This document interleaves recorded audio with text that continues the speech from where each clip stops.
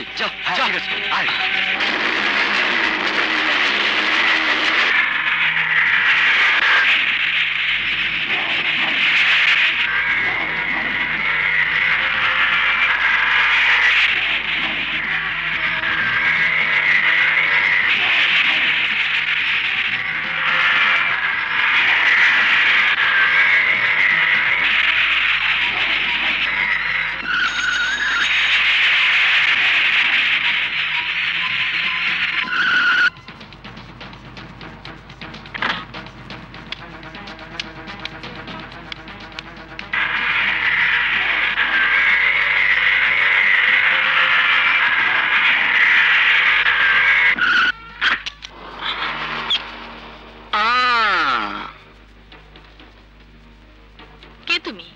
ইকবাল কি চাই?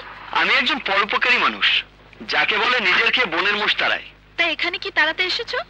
আপনাকে। হোয়াট না মানে বলছিলাম কি কথা সেটা নয়। আপনি একটা বাচ্চা ছেলেকে অ্যাক্সিডেন্ট করে রাস্তায় ফেলে এসেছেন। ছেলেটি মারাত্মক আহত হয়ে এখন হাসপাতালে। তাই আপনাকে একটু আমার সাথে হাসপাতালে যেতে হবে। ছেলেটি তোমার কি হয়? না না আমার কেউ হয় না। ও তাহলে ওর ব্যাপারে তোমার এত ইন্টারেস্ট কেন? ওই যে বললাম আমি নিজের খেয়ে বোনের মোষ তারাই পরোপকারী। ও শোনো মিস্টার পরোপকারী। এই ব্যবসা প্রতিষ্ঠান চালাতে গিয়ে আমি অনেক বড় বড় ধান্দাবাজকে ফেস করেছি। তা তুমি এই লাইনে নতুন বুঝি? না মানে আপনি কি বলতে চাইছেন আমি ঠিক বুঝতে পারছ না তাই না? তবে আমি তোমার উদ্দেশ্য ঠিকই বুঝতে পেরেছি। তুমি একজন চেপ এন্ড ধান্দাবাজ। গেট আউট অ্যাক্সিডেন্টের কথা বলে তুমি আমার কাছ থেকে টাকা নিতে চাইছো। আপনি ভুল করছেন ম্যাডাম। আপনি যা ভাবছেন আমি তা নই।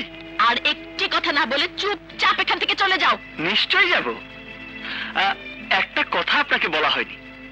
মানুষের উপকার করা ছাড়াও আমার আরেকটা বদভ্যাস আছে। আমি যা বলি তাই করি। তো আপনাকে এখন আমার সাথে হাসপাতালে গিয়ে ওই ছেলের মায়ের কাছে একটু ক্ষমা চাইতে হবে। যার জন্য তোমার ছেলের হাত ভেঙেছে আহ, প্রয়োজনে সে নিজেই তোমার ছেলের কাজটা করে দেবে। হোয়াট ইয়েস ম্যাডাম ওর এই হাত আপনার মতো কোনো ধনির দুলালির হাত না। এই হাত দিয়ে ও এই পঙ্গু মায়ের মুখে ভাত তুলে দেবার জন্য ভিক্ষে করত। আপনার এই হাত দুটো যদি আপনার শরীর থেকে কেটে ফেলা হয় তাহলে কিন্তু আপনাকে হাতের জন্য না খেয়ে থাকতে হবে না। কারণ আপনার বেতনভুক্ত চামচারা সোনার চামচ দিয়ে আপনাকে খাইয়ে দেবে। কিন্তু ওর হাত দুটো যতদিন ব্যান্ডেজ থাকবে, ততদিন এই পঙ্গু মায়ের মুখে ভাত উঠবে না। আর আমি যদি জিজ্ঞেস করি, ছেলেটা ভিক্ষে করে কত টাকা পেত? বিশ, পঞ্চাশ, একশো? আমি যদি ওকে সারা জীবন বসে বসে খাবার মতো টাকা দিয়ে দেই, তাহলে তোর সমস্যা সমাধান হয়ে যায়। ভাবতে পারো, যা পাবার ওই ছেলেটি পাবে। তোমার দালালি করে কি লাভ হলো? এবার তোমার দালালির ফিসটাও বলে ফেলো। এক লাখ দু লাখ তুমি চাইলে তাও আমি দিয়ে দেব। কারণ আমার বাড়িতে যে কটা পোষা কুকুর আছে তার ঠিক কুকুরের দাম দু লাখ টাকার উপরে। যা তোমার দালালির টাকার চেয়েও বেশি। ওরে বাবা টাকার এত গরম? সারা অঙ্গে যেন টাকার আগুন দাউ দাউ করে চলছে। তাহলে তো আপনাকে বোঝাতেই হয়। রাস্তায় দাঁড়িয়ে ভিক্ষা করে এক টাকা রোজগার করা কত কষ্টের? তুমি কি বলতে চাও? বলতে চাই কাল থেকে আপনি বাদলের পরিবর্তে রাস্তায় দাঁড়িয়ে ওর মায়ের জন্য ভিক্ষা করবেন। আরে ভিক্ষাটা আপনি ততদিন করবেন যতদিন বাদলের হাত ভালো না হয়। হাউ ফানি তুমি কি করে ভাবলে? তোমার মতো ফুটপাতে দেড় টাকার গুন্ডা মস্তানের ভয়ে চৈতে গ্রুপ অফ কোম্পানির একমাত্র উত্তরাধিকারী এই আমি রাস্তায় দাঁড়িয়ে ভিক্ষে করব? শোনো স্বপ্ন দেখা ভালো। কিন্তু সেই স্বপ্ন দেখা ভালো না, যে স্বপ্নের সাথে বাস্তবের কোনোই মিল নেই। লেকচার কম। আমি স্বপ্ন দেখি না। আমি যা বলি তা বাস্তবে করে দেখাই। আমি বলেছি আপনাকে দিয়ে ভিক্ষা করাবো, আপনাকে ভিক্ষা করতেই হবে। ব্যাস! সময়টা মনে রাখবেন। আগামীকাল সকাল দশটা। আর জায়গাটা সেখানেই। যেখানে অ্যাক্সিডেন্ট করেছিলেন পাঁচ মিনিট আগে আসলে কোনো অসুবিধা নেই কিন্তু পাঁচ মিনিট পরে আসলে প্রতি মিনিটের জন্য দশ মিনিট করে বেশি ভিক্ষা করতে হবে। যদি মনে করেন এটা আমার মাস্তানি তবে তাই। ইউ বাস্টার্ড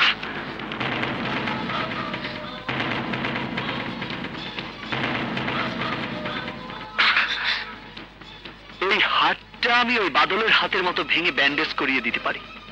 কিন্তু আমি তা করব না। কারণ আগামী আগামীকাল এই হাত বাদলের পঙ্গু মায়ের জন্য ভিক্ষা করবে। মাইন্ডেড ইউ বেটার মাইন্ড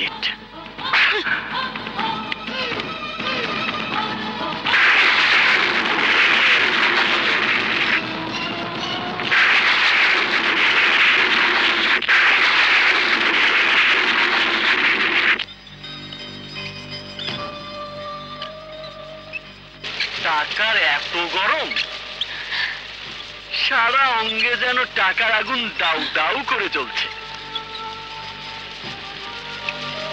আমি বলেছি আপনাকে দিয়ে ভিক্ষা করাবো আপনাকে ভিক্ষা করতেই হবে। ব্যাস।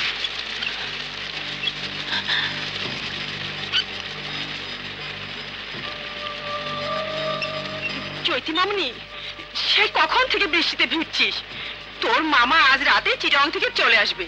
চল মা ঘরে চল। চৈতি মামনি ওই দেখ সানি বাবা যে ফোন পেয়ে পুলিশ নিয়ে এসেছে।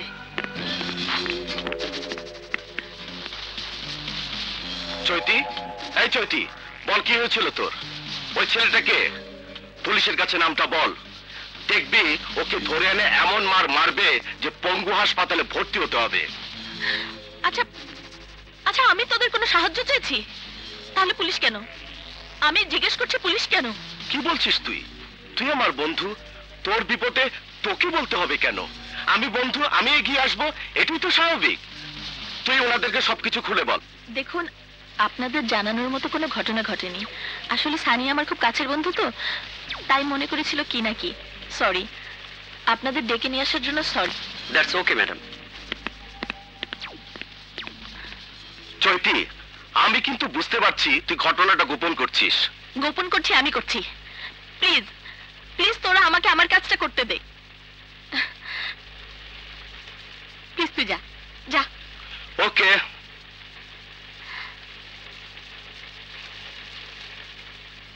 তুই কি মনে হর মাইয়াটা এই জায়গায় আইবে? অসম্ভব। ওই যে বড় লোকের মাইয়া।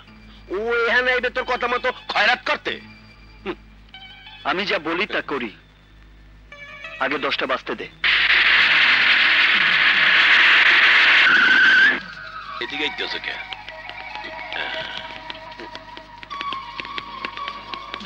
এখানে ইকবাল কে? আমি। ও তুই? তাহলে তুই চৈতি চৌধুরীকে এখানে এসে ভিক্ষা করতে বলেছিলি? যদি বলি হ্যাঁ তাহলে কি চৈতি চৌধুরীর বদলে তুই ভিক্ষা করে দিবি?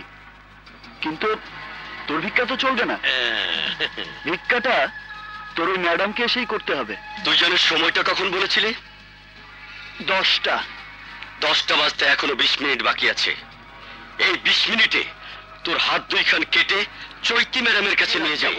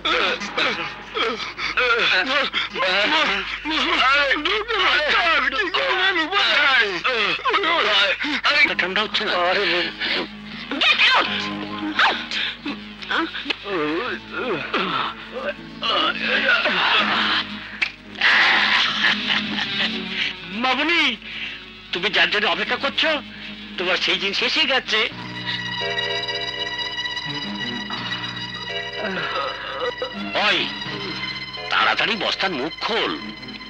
ওই শয়তানের মুখটা দেখার জন্যে। আমার চৈত্রী মামুনি অত্যন্ত উদ্বিগ্ন হয়ে আছে।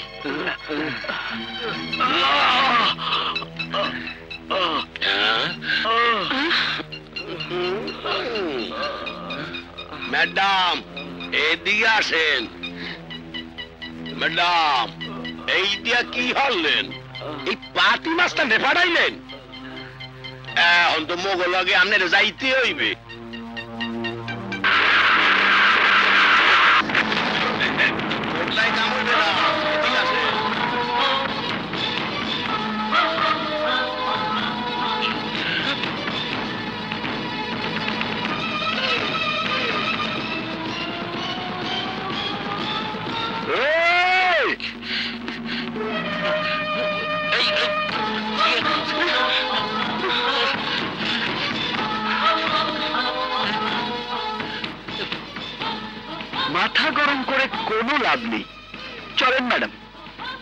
চেষ্টা করে তো দেখলেন। শুধু শুধু বিশ পঞ্চাশ হাজার টাকা খরচ হয়ে গেল। কাজের কাজটা ঠ্যাঙ্গাও হলো না। বেলা অনেক হয়েছে। আরও বেশি দেরি হলে প্রথম দিনই বিকাল পর্যন্ত ভিক্ষা করতে হবে। তাই দেরি না করাটাই বুদ্ধিমানের কাজ। চলুন। ইউ স্কাউন্ডার আমি তোকে আমি তোকে খুব আরে আরে কই যান? না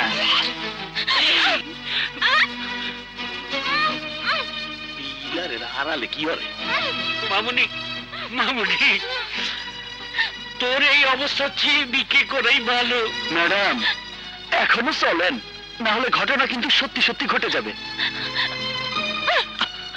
আবার। মুগুরে কইলে যায় আবার আসেন।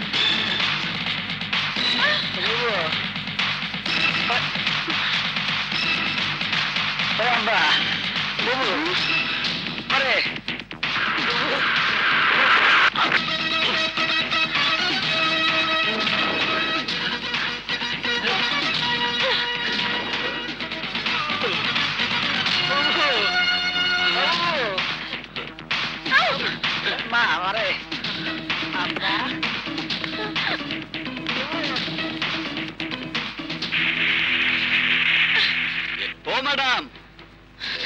কি বলেছিলাম?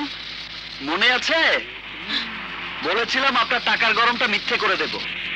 আরও বলেছিলাম আপনার কুকুর কেনার লাখ টাকা জোগাড় করার চেয়ে এই হাত পেতে পেটের ভাতের জন্য এক টাকা জোগাড় করা অনেক পরিশ্রমের কাজ। আরে ও খালা এদিকে আসো। ম্যাডামরা একটু ভালো করে সাজায় দাও যাও। মা এই কাপড়ে তোমার কেউ ভিক্ষা দিব না। পাগল কইব। আহো কাপড়টা পাল্টায় যাও ম্যাডাম যাও।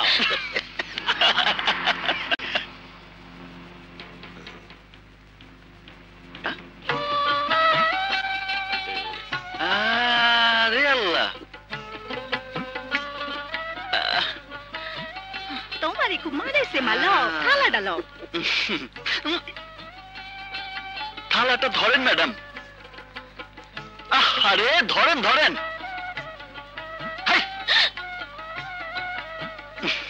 কি হইল মা থালাটা ধরো!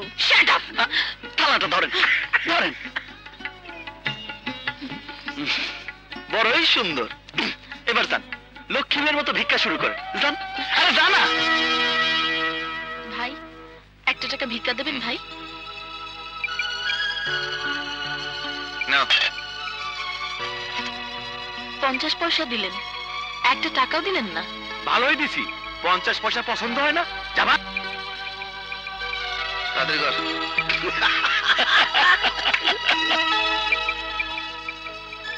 ভাই হুম। আল্লাহর রাস্তায় একটা টাকা ভিক্ষা দেবেন? এটা তো খুব সুন্দর। না।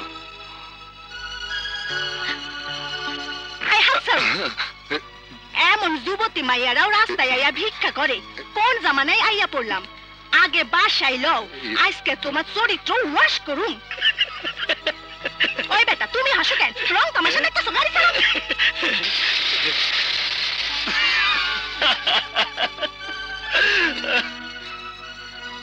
চাচা? চাচা একটু টাকা দিবেন।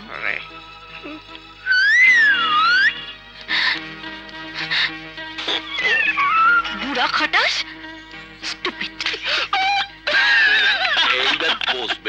শরীরে পাইয়া বলবে ও ম্যাডাম! আরে এদিকে আসেন। হয়েছে হয়েছে, আসেন। আসেন আসেন। দেখি মাত্র এই কয়টা টাকা? ম্যাডাম, এই কয়টা টাকা ভিক্ষা করতে কত সময় লেগেছে দেখেছেন? দুই ঘন্টারও বেশি। এখন কি বুঝতে পেরেছেন, ম্যাডাম? আমি আপনার কাছ থেকে দালালির ফিস নেবার জন্য আপনাকে হাসপাতালে নিয়ে যাইনি। নিয়ে গিয়েছিলাম ওই অসহায় ছেলেটির কষ্ট বোঝানোর জন্য। শুনুন, ম্যাডাম। প্রাচুর্যের উপরতলায় দাঁড়িয়ে নিচের তলার গরিব মানুষগুলোকে ছোট চোখে দেখবেন না। ধনির সুখের পাশাপাশি গরিবের দুঃখটাকে বোঝানোর জন্য আমি আপনার সাথে যে ব্যবহার করেছি, তার জন্য আমি সত্যি দুঃখিত।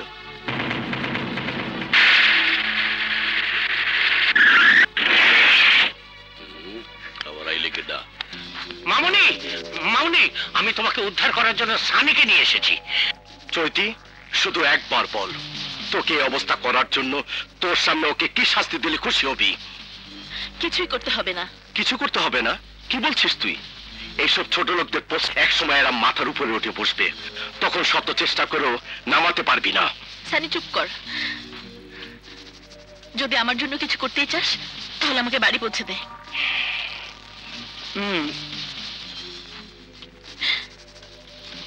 আমাকে নিয়ে চল। তোর চেহারাটা আমি খুব ভালো করে চিনে রাখলাম। চৈতি তোকে ক্ষমা করল আমি তোকে ক্ষমা করব না। বড় ভাই।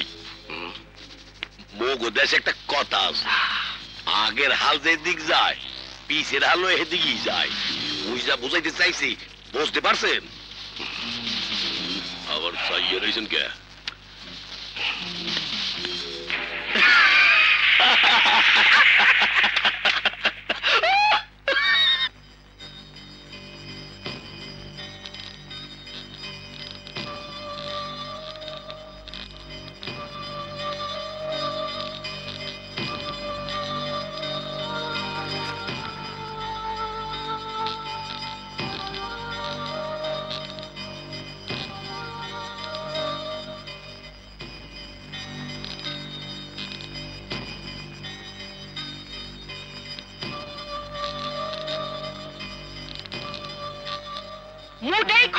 যাবে না। ওকে পুলিশ দিয়ে ধরতে হ্যাঁ। হবে। আসামি করে আদালতে তুলতে হবে। কঠিন শাস্তির ব্যবস্থা করতে হবে। আমার বাবা উকিল ছিল। আমি জানি নারী নির্যাতন অপহরণের মামলা কম করে হলো সাত বছরের জেল। ষাট বছরে? আরে, সাত বছর না সাত বছর। সাত বছর কেন? ওর সাত দিনও জেল হোক আমি তা চাই না। বলে কি জানি। আমার মুখে আমার শত্রু সম্পর্কে কথা শুনে তোমরা কম বেশি সবাই অবাক হয়েছো। অবাক হওয়ার মতো কথা বললে অবাক হব না? আসলেই তাই। এরপর যদি বলি ও শত্রু থেকে আমার বন্ধু হয়েছে তাহলে নিশ্চয় আরও অবাক হবে তাই না? তোকে আমি অনেকদিন ধরে চিনি জানি। তুই চৈতি চৌধুরী। এই অপমান তুই কোন রকমে হজম করতে পারিস না।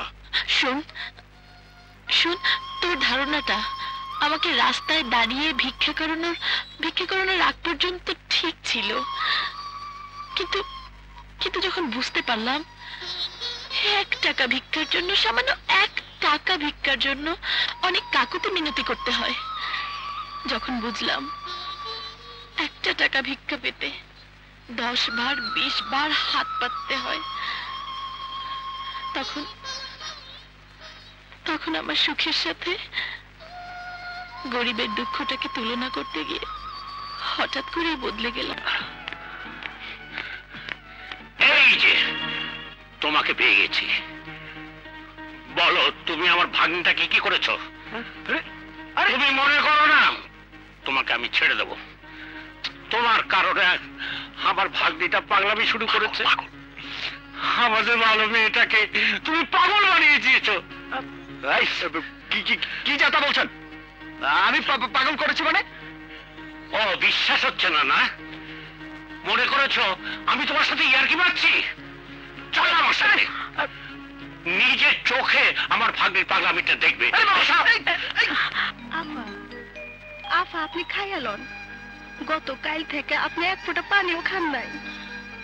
চৈতি মা বলছিলাম কি চোরের উপর রাগ করে ভাত না খাওয়া কি ঠিক হচ্ছে? আমি চোরের উপর রাগ করছি না মামি। এবার আমি সব দিক দিয়ে নিজেকে বদলাতে চাই। তাই বলে অফিস ব্যবসা সবকিছু বাদ দিয়ে না খেয়ে খেয়ে তুই তো নিজের চেহারাটা কি করেছিস একবার আয়নায় চেয়ে দেখ। দেখো তোমার জন্য মেয়েটা মানসিক রোগী হয়ে গেছে। বলো তোমার কাছে কি অন্যায় করেছিল?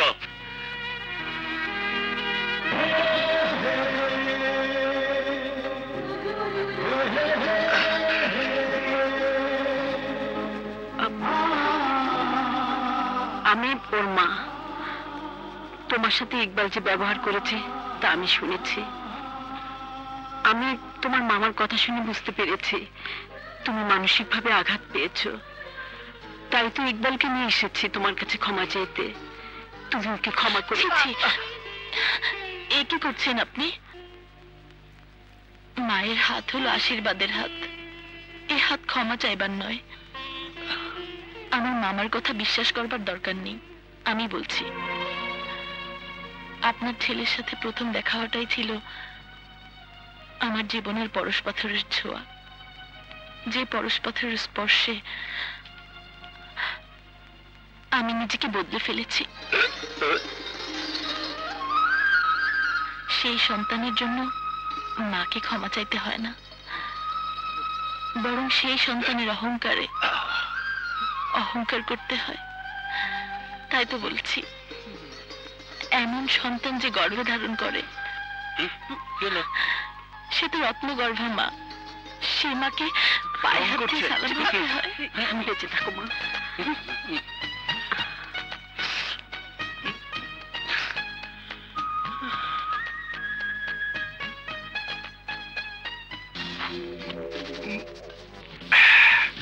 কে কাকে হারাতে চায় সে কথাটা আমি শুনতে চাই না। আমার একটাই কথা আমি হাঁটতে চাই না। চৈতিকে বউ করে পাবার জন্য সে কবে থেকে স্বপ্ন দেখা শুরু করেছি তার নিজেরই মনে নেই। তুমি যেমন চৈতিকে বউ করার স্বপ্ন দেখছ ঠিক তেমনি তোমার কথা মতো আমিও চৈতির বাড়িটা পাওয়ার স্বপ্ন দেখছি। তাই তোমার স্বপ্ন মিথ্যা হওয়া মানে আমার স্বপ্ন মিথ্যে হওয়া? ভাগ্নে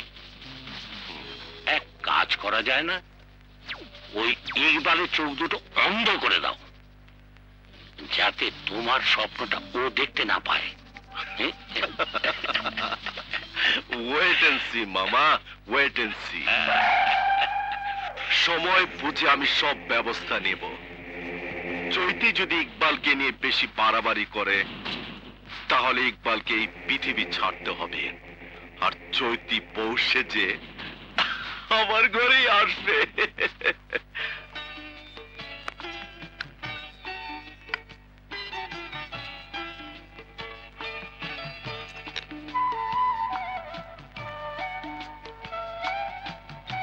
কাজু সকালবেলায় এত সাজছিস কেন? সাজগোজ কমিয়ে রান্নাঘরে আয় খেয়ে নিবি। তুমি যাও তো মা আমি পরে খাব। আচ্ছা।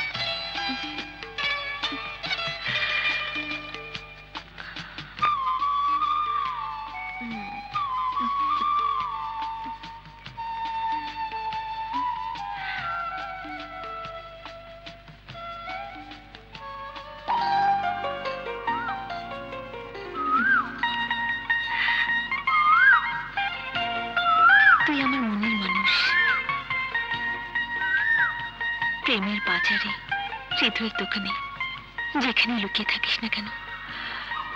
আমার এই দুই নয়ন তোকে ঠিকই খুঁজে নেবে।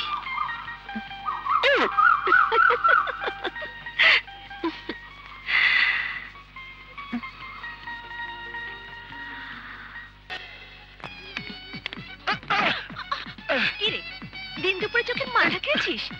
দেখছিস না আমি আসছি? দেখলাম। কিন্তু ফুলের মালা হাতে তাড়াহুড়ো করে কোথায় যাইতেছিলেন?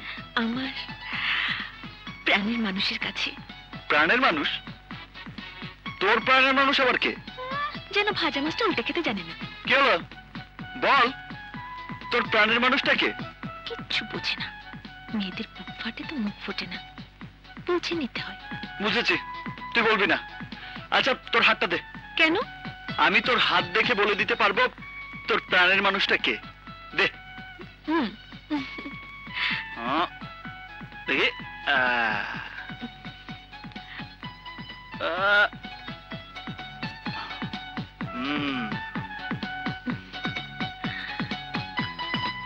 তোর হাতের রেখা বলছে তোর বরটা খুব হ্যান্ডসাম হবে। তুই তো হ্যান্ডসামই কিন্তু কিন্তু একটা রেখা খুব খারাপ দেখতে পাচ্ছি। তোর জন্য একটা ভীষণ ভয়ের ব্যাপার আছে। কিসের ভয়? অন্য কোনো মেয়ে এসে তোর প্রাণের মানুষটাকে চিলের মতো ছো মেরে নিয়ে যেতে পারে।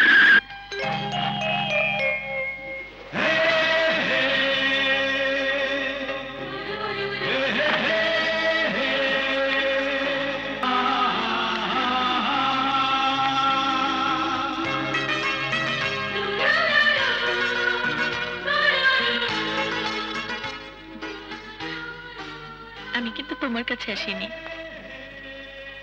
মার কাছে এসেছি। কেন মা? আসতে মানা? তা কেন হবে মা? তাহলে এই সেই চৈতি।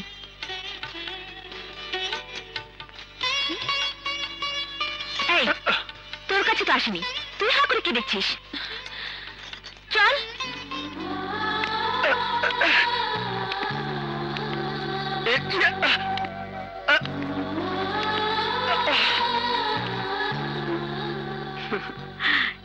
এসো মা। ছোটবেলা থেকে দুজন একসাথে বড় হয়েছে তো তাই সবসময় অধিকার দেখায়। এমন অধিকার কজন কজনের উপর দেখাতে পারে? আপনাকে দেখে আমার মনে হয়েছিল মা বলে দেখে অধিকার দেখাই সাহস হয়নি। যদি বাড়তি চাওয়া হয়? বাড়তি চাওয়া কেন হবে মা? তোমার মা নেই। তোমার ভালো লাগলে আমাকে মা বলে ডেকো।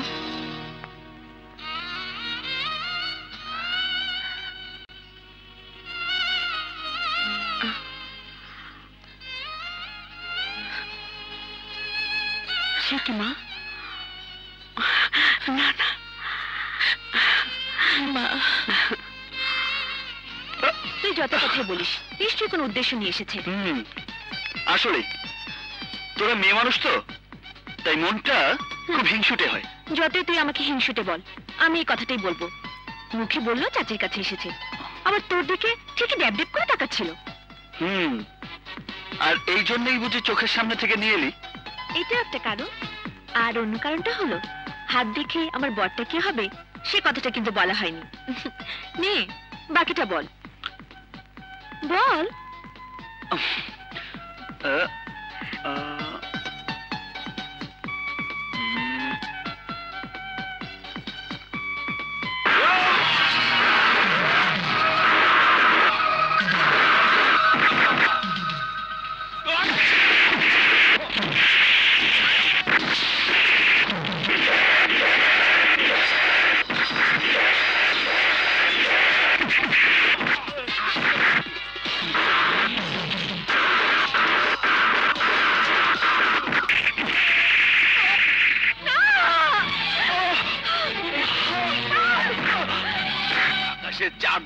শখ হয়েছিল মিটে দিলাম। এই চল।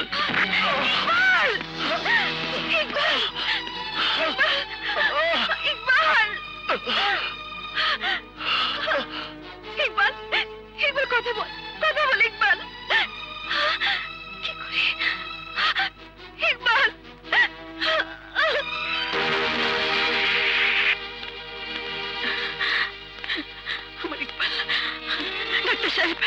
ইকবালের মা। ডাক্তার সাহেব বলুন আমার ইকবাল আমার অপারেশন করতে হবে। অপারেশন? হ্যাঁ আমি কাজল নামের মেয়েটিকে বলেছি অনেক টাকা লাগবে। মা আপনি কোনো চিন্তা করবেন না। ডাক্তার সাহেব আমি চৈতি গ্রুপ অফ কোম্পানির মালিক চৈতি চৌধুরী। আমি ইকবালকে সুস্থ দেখতে চাই। এর জন্য যত টাকার প্রয়োজন আমি দেব।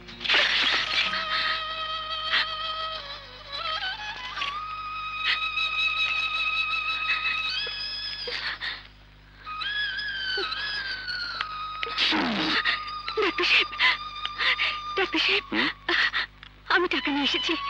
আপনি ইকবালের অপারেশন করুন। অপারেশন তো হয়ে গেছে। কিন্তু টাকা? চৈতি চৌধুরী টাকা দিয়ে দিয়েছেন।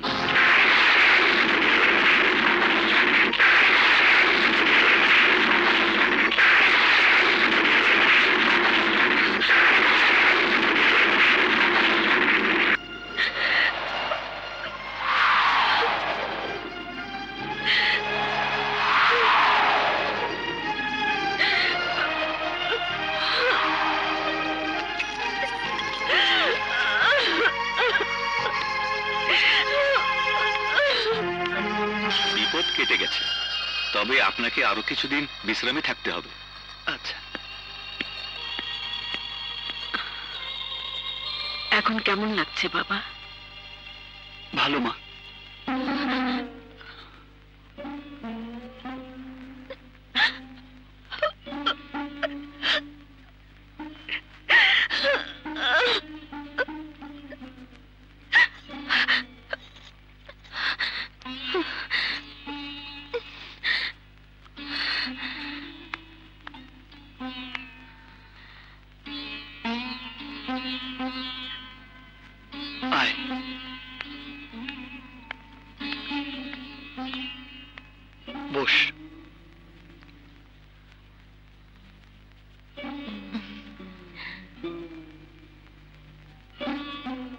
চৈতি মামুনির জন্য তোকে আজ ফিরে পেলাম বাবা।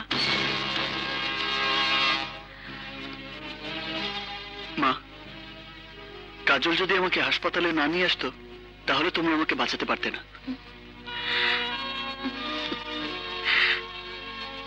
চাচি তোমরা এখানে থাকো। আমি বাড়িকে তোমাদের খাওয়ার ব্যবস্থা করি।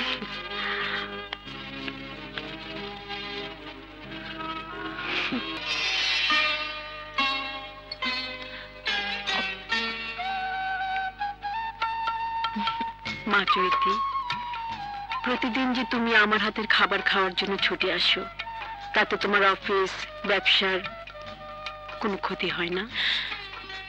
মায়ের ভালোবাসার কাছে পৃথিবীর সব কিছু তুচ্ছ। তবে তুমি বারণ করলে আমি আর আসব না। না না আমি তা বলিনি। আমি বলতে চাচ্ছি তুমি যে প্রতিদিন আমাদের বাড়িতে আসো মহল্লার মানুষ নানান কথা বলে। আচ্ছা মহল্লার মানুষের কথা কি তুমি আমাকে মা ডাক থেকে বঞ্চিত করবে? হ্যাঁ করবেই তো। তুমি তো আমার মা না। যদি তুমি আমার সত্যিকারের মা হতে, তাহলে এমন একটা কথা বলতে পারতে না। চৈতি চৈতি কাঁদছো কেন? এটা তো কান্নার কথা না, মা। সমাজের মানুষ সমাজের কথাই বলবে। তাছাড়া আমার ঘরে অবিবাহিত ছেলে মানুষ কোনো কিছু না হলেও বলবে। এর সমাধান এর সমাধান তো তোমার কাছেই আছে মা। আমার কাছে? হ্যাঁ। তোমার কাছে। কীরকম? আমাকে তোমার ছেলের বউ করে নাও। সমাজের মানুষের মুখ বন্ধ হয়ে যাবে। এ কি বলছো, চৈতি? তুমি কোথায় আর আমরা কোথায়? মায়ের কাছে পৃথিবীর সব প্রাচুর্যই তুচ্ছ। তুমি আমার সব সম্পত্তি নিয়ে, তুমি শুধু তোমাকে আমাকে দিয়ে দাও। মা মা, আমি তোমাকে নিয়ে থাকতে চাই। বলো না মা বলো। বলো না মা বলো। বলো না মা আমি তোমার পায়ে পড়ি। ওঠো, মা।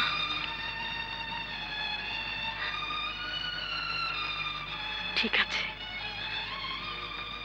আমার ইকবালকে তোকে দিয়ে দিলাম।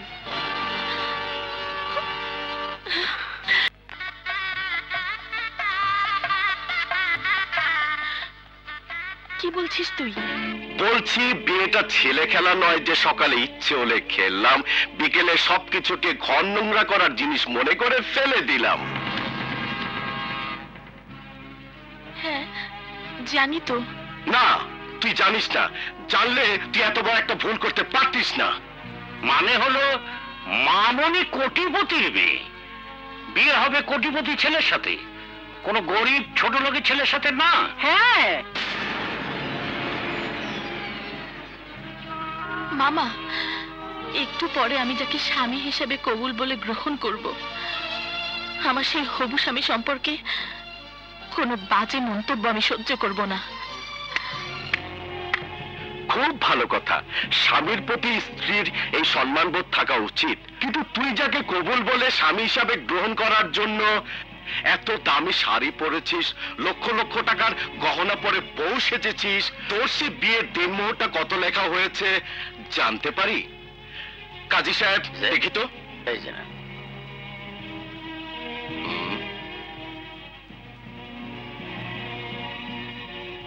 ও একশো কোটি টাকা রাজকন্যার বিয়ের দিনমোহর মাত্র দশ হাজার এক টাকা। যে সামান্য টাকাটা তুই অনেক ভিকেরিকে ভিক্ষে দিয়েছিস।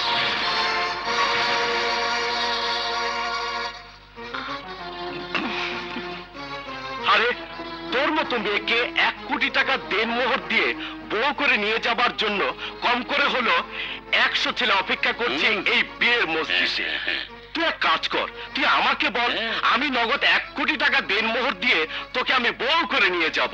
তবু তুই এই পুতুল খেলার বিয়েটা বন্ধ কর। এই বিয়েতে লোক হাসবে। সবাই বলবে তুই পাগল হয়ে গেছিস। কারণ যে তোর কোম্পানির চাকর হওয়ার যোগ্যতা রাখে না সে কখনো তোর স্বামী হতে পারে না। ব্যাস ব্যাস অনেক হয়েছে। আমি স্বীকার করছি আমি গরিব কিন্তু আমি লোভী নই। আর রাজকন্যাকে বিয়ে করে নিজের ভাগ্য পরিবর্তন করার কোনো লোভও আমি করিনি। আমাকে বিয়ে করার প্রস্তাব আপনাদের রাজকন্যা নিজেই দিয়েছেন। দেনমোহরের এই দশ হাজার এক টাকা আমার কাছে অনেক টাকা।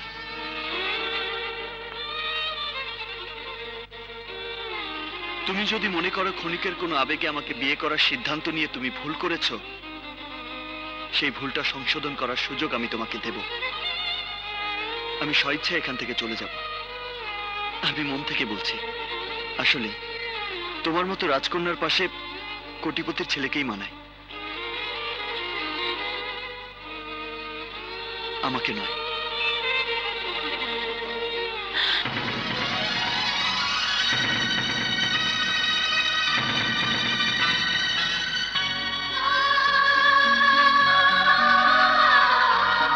আমি তোমাকে অনেক অহংকার করে বিয়ে করতে চেয়েছি।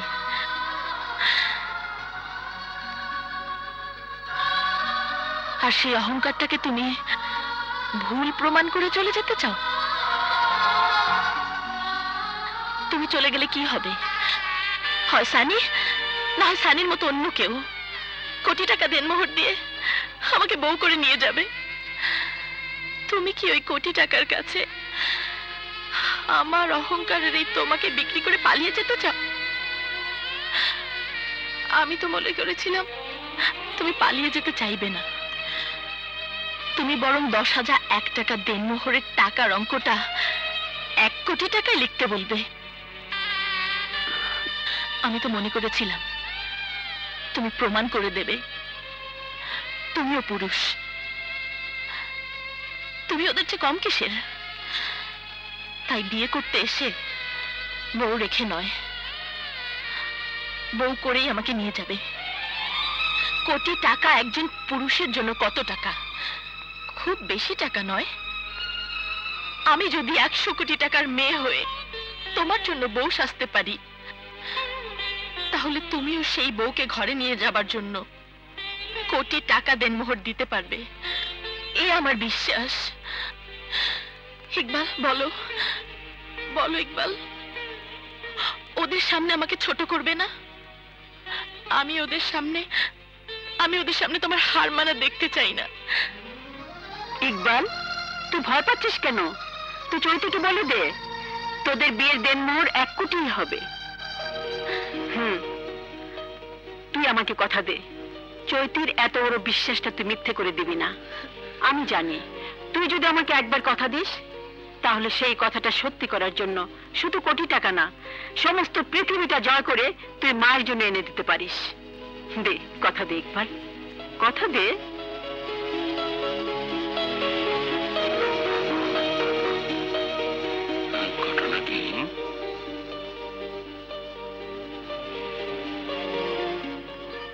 কথা দিলাম মা। চৈতি আর আমার বিয়ের দেনমোহর এক কোটি টাকা। আমি গরিব মায়ের ছেলে হলেও চৈতি হবে আমার কোটি টাকার বউ।